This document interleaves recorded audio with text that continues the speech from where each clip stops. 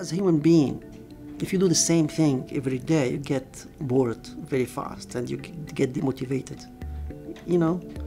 And what is beautiful in, in our job as university professor, as we have the academic freedom and liberty, so we choose what you want to work on. That's the big, big, big, big plus.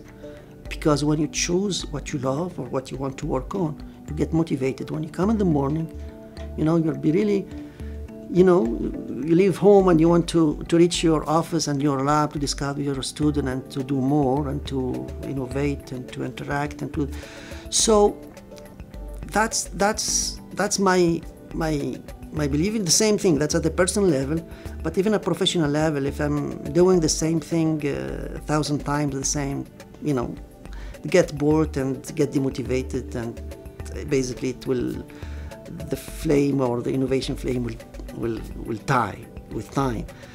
But uh, if you keep innovating, it's like uh, there is no limit for it.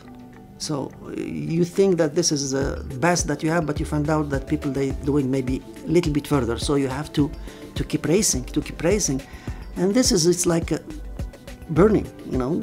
You, you cannot stop. It's like you, once you get it, you get it, and it's rewarding, you know, at the personal at the personal level. And, and another dimension also, at the university we don't do only research, we teach, we educate, uh, we, do, we give service.